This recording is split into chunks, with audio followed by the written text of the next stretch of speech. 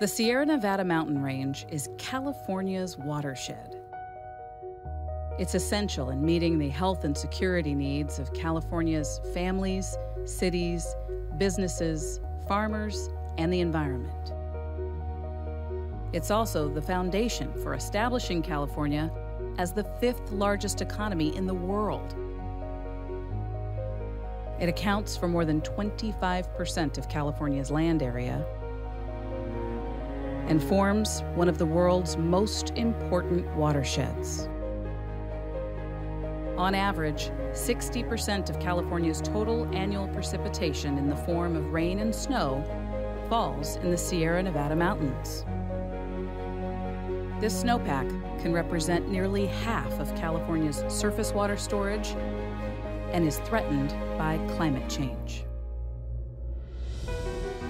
Scientists project that the snowpack will be 79% smaller by the end of the century.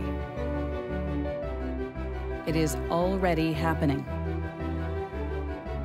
This is disrupting California's water supply,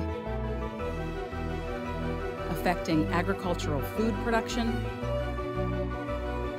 urban and suburban water use. We have no water, and our families can't go to work and our forest and delta ecosystems.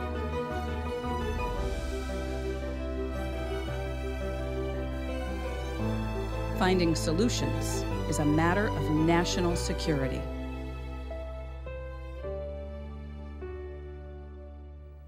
The watershed, a very uh, strict definition is it, is the very highest land um, in a landscape. And that provides the dividing point and where the water goes on one side of it or the other side. Think about a watershed being a mountain range, you know, with peaks up to 14,000 feet. I mean, there's a lot of land that you capture the water from, and that's where 60% of the water that we use in California comes from, is from the watersheds in the Sierra Nevada. It's basically the, the water supply for the state of California and for most of the agriculture in the state. And the health of the forests in the Sierra Nevada are largely what determine the timing of these flows and the quality of the water, and also to some degree the amount of water that's released into uh, the rivers and streams and ultimately into our reservoirs. So it's, it's critical for the state of California, economy, agriculture, and also the ecosystems in the state that same watershed uh, provides, uh, you know, it's for recreation. It's an international tourist destination. It's it's a watershed that uh, provides for significant biodiversity of species. It's hard really to explain the value of it. It is just so valuable. We're here in the southern Sierra. Uh, we're actually in Yosemite National Park. And this is the elevation around 7,000 feet where we really start getting the snowpack, this is the snowpack that provides our water supply. The snowpack of the Sierra Nevadas are, in fact, our largest reservoir.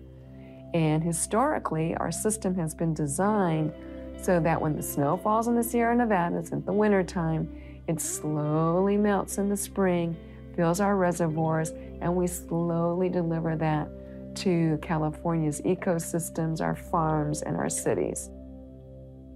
And it's because we've engineered the use of that water that we've been able to have a vibrant agricultural economy, vibrant cities with the industries that support those cities as well. A key to water security is to have adequate storage to capture water in the wet season to get through the dry season when we don't have rain. We're here in what's called a Mediterranean climate because it's, it's like it is in the Mediterranean where you have a wet, a wet winters and dry summers. And in order to do the, uh, the irrigation during the summer, we need to store water from the winter behind dams in groundwater, and the snowpack is an important part of that winter storage. And as the population has grown and demands have increased for clean water and food, managing the structures that we inherited has become a real challenge. The way we've organized our water system is we assume that every winter we're going to get a snowpack. And we have an average size that we expect. But those were the old days. Now we're, we're warming it up and we're making that rain and snow less reliable, right? So you can't count on it every year at the same time and the same amounts. A tremendous number of our storms come in within a couple degrees of freezing.